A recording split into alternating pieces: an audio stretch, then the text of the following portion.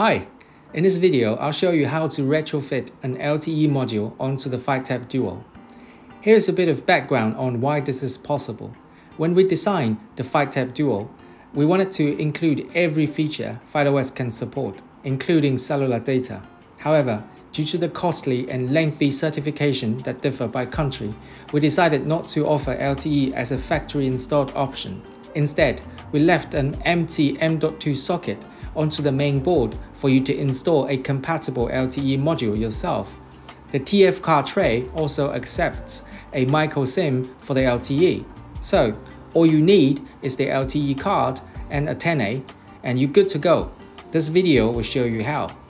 Quick warning, this process involves disassembling your Fydetab Duo, which will void the warranty.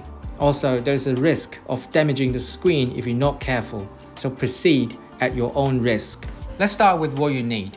A plastic pry tool, preferably a large one, like this. LTE antennae with adhesive backing and different lengths IPX4 connectors. You can install up to 4 antennae. We'll list the exact sizes and lengths in the wiki. The LTE module we're using is Quectel EM05CE.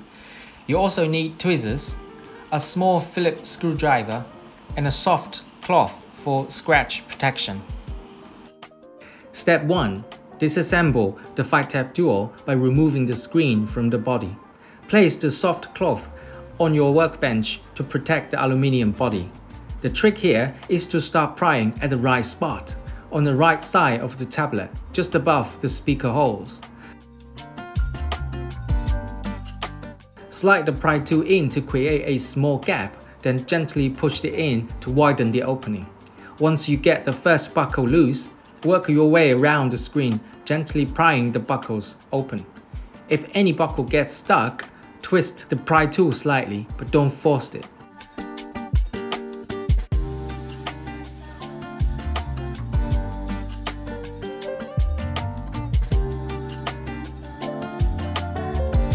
After loosening all the buckles, carefully disconnect the ribbon cable before fully removing the screen.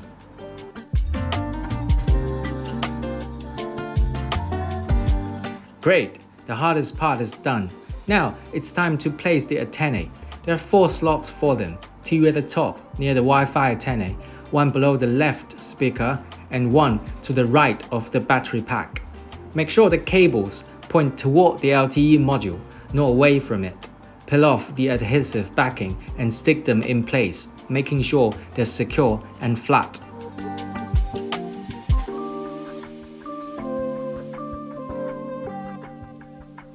Step 2.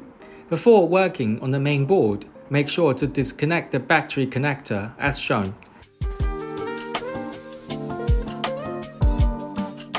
Now, insert your LTE module into the M2 socket.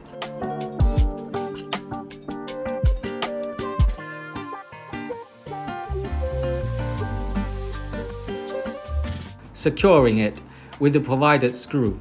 Be mindful of the magnets in the tablets that can interfere with small metal parts. Step 3.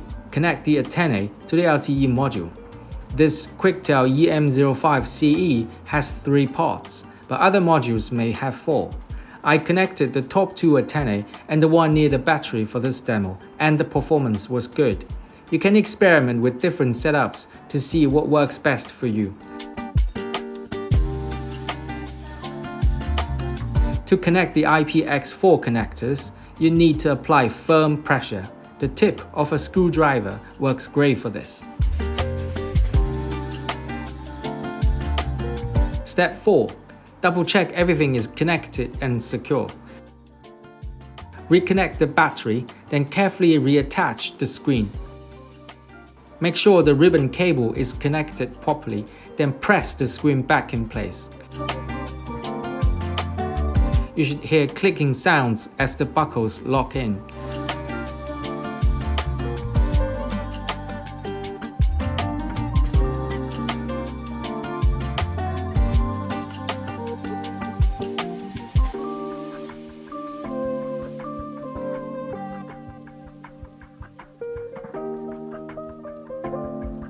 Check the gap between the screen and the body.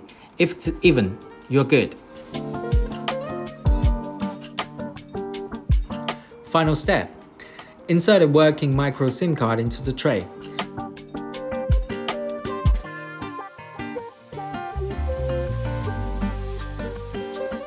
Since we disconnected the battery earlier, you need to plug in the charger to power the tablet on.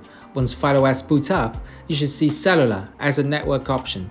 LTE won't be the primary connection if Wi-Fi is available, so turn off Wi-Fi to test LTE. Let's open a website. Boom, it works. For more details, check out the full guide on the Fydetab Duo wiki. Thanks for watching and happy hacking!